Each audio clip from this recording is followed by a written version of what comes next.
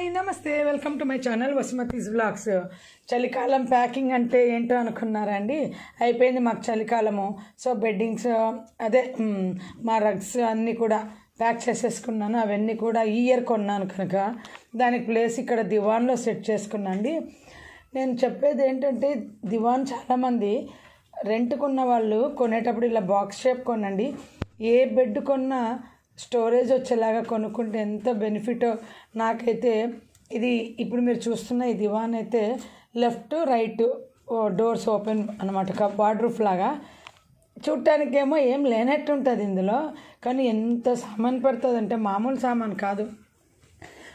Bed దాంట్లో ఏమేమి ఉంటాయంటే మా అందరి బెడ్షీట్స్ స్పేర్ బెడ్షీట్స్ ఉంటాయి. గెస్ట్లు వస్తే వాడే బెడ్షీట్స్ ఉంటాయి తర్వాత గెస్ట్ల కోసం పెట్టుకున్న దిండ్లు ఉంటాయి మా ట్రావెలింగ్ సెట్ ఉంటుంది పిల్లో కవర్స్ కర్టన్స్ ఉంటాయి తర్వాత బెడ్షీట్ అది కొత్త బెడ్షీట్స్ అందులోనే ఉంటాయి దివాన్ సెట్స్ అందులోనే ఉంటాయి.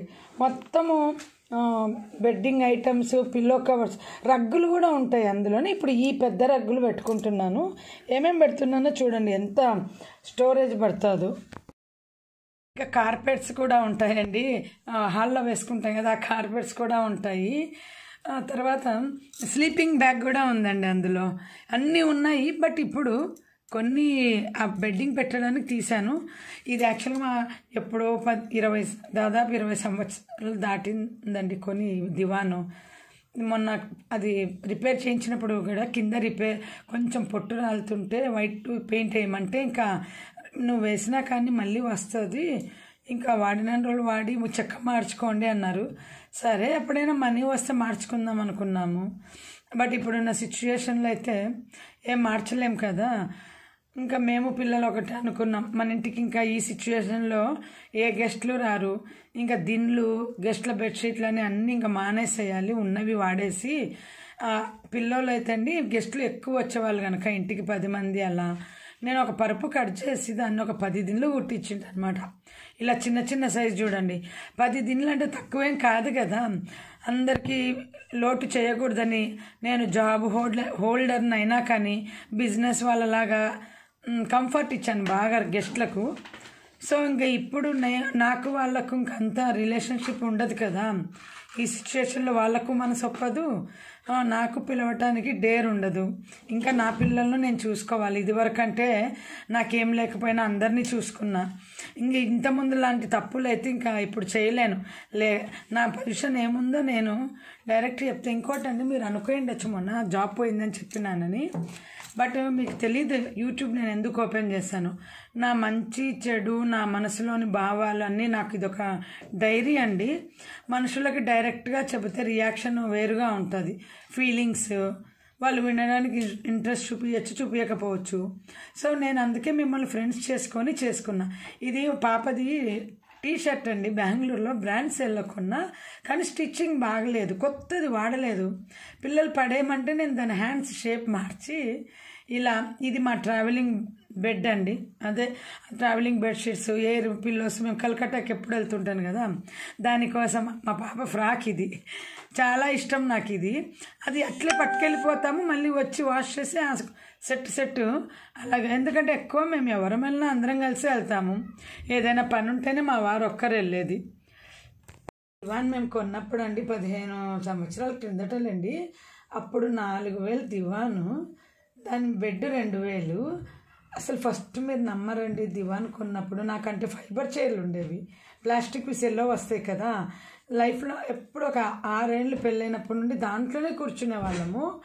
ఒకసారి ఈ దివాన్ కొన్న తర్వాత నాకు ఎలా ఫీలింగ్ వచ్చిందంటే ఏదో లైఫ్లో ఎప్పుడు పరపు మీద ఎక్కలేదు నేను అన్న ఫీలింగ్ నేను ఏ వస్తువు కొన్నా కానీ నాకు అది ఎందుకో ఆ- టైంలో ఏమీ లేని టైంలో అలా ఫీల్ అయ్యేదాన్ని.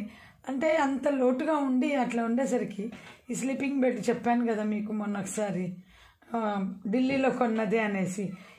మేము జాబ్ వాళ్ళమైనా కానీ ఏ ఇంటికి షిఫ్ట్ అవుతున్నా ఇన్ని సామాన్లు చాలా కేర్ఫుల్గా తీసుకున్నాను. ఇది సారీ దివాన్ తీసుకున్నప్పుడు స్టోరేజ్ లాగా తీసుకున్న ఇన్ని పట్టినాయి షిఫ్టింగ్ టైంలో వాళ్ళు ఇవన్నీ తీసేసరికి ఆశ్చర్యపోతుంటారు. ఎప్పుడు చూసి ఇన్ని ఉన్నాయా ఇందులో అని. దూరం నుండి అట్లా కనపడదు కదా. ఒక టైంలో మేమైతే అన్ ఒక టైం ఏంటండి? దాదాపు మూడు మూడేళ్ళ నాలుగేళ్ళ క్రిందటి వరకు కూడా సోఫాలు లేనప్పుడు మేము దివాన్ మీద నలుగురం ఇలా పొడవుగా కూర్చునే వాళ్ళం. మాకు ఇది ఒక్కటే ఉండేదన్నమాట. సో ఇప్పుడు సోఫా ఉన్నందుకు ఇంకా అది ప్రాబ్లం లేదు. ఇంకోటి ఏంటంటే మేమైతే ఎక్కువ ఏదానికి ఫీల్ అయినామంటే అండి అర్ధాంతరంగా వచ్చి మేము ఈ నార్త్లో పడిపోయినాము అటు ఇటు కాకుండా. ఇంకా అందరూ తెలిసిన వాళ్ళంతా ఫోన్ చేసి మీరు అటు వచ్చేయచ్చు కదా అంటే అప్పుడంటే కంపెనీ షిఫ్ట్ చేసిందండి రెండు లక్షలైంది.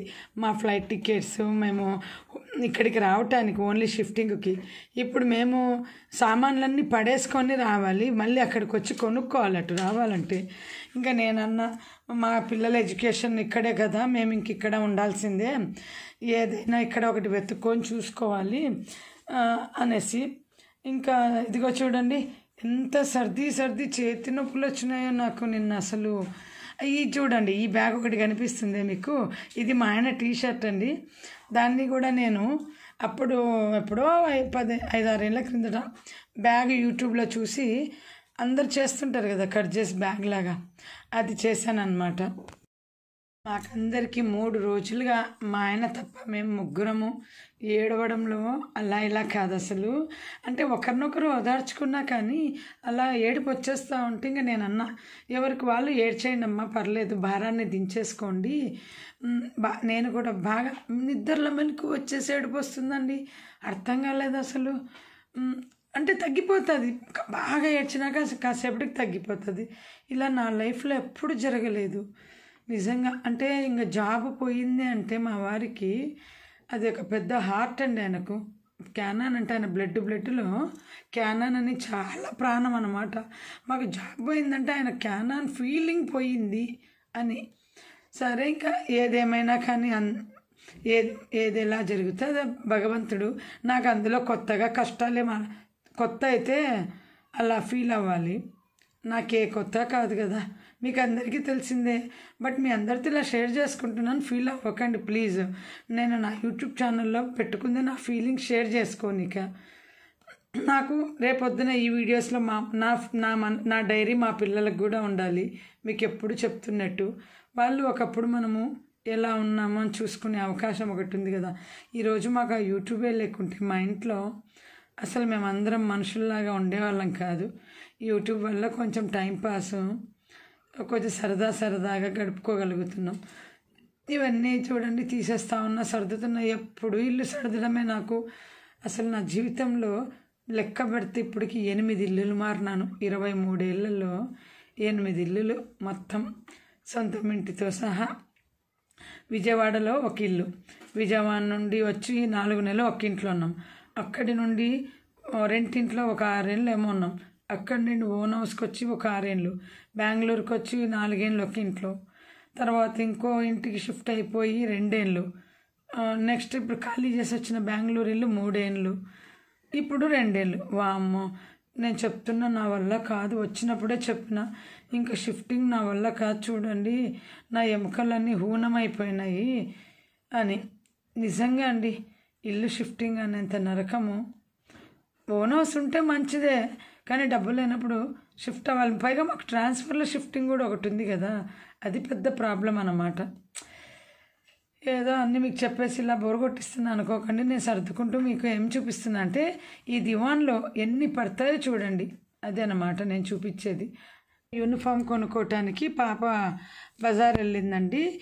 క్వాలిటీ స్టిచ్చింగ్ చేయించేటప్పుడు నాకు మంచి క్వాలిటీ వద్దు మామూలుది సెలెక్ట్ చేసుకుంటా అంటే మా వారు టైలర్ అతను అరిచాడు. ఇదైతే ఎప్పుడు ఐరన్ చేసుకోవాలమ్మా అదైతే ఐరన్ అవసరం లేదు అని. పిల్లల్లో ఎంత చేంజ్ వచ్చిందో చూడండి. మా వీడియోస్ చూస్తే మీరు అనుకోండొచ్చు పిల్లలను చాలా డబ్బుల్లో పెంచుతున్నారు అని.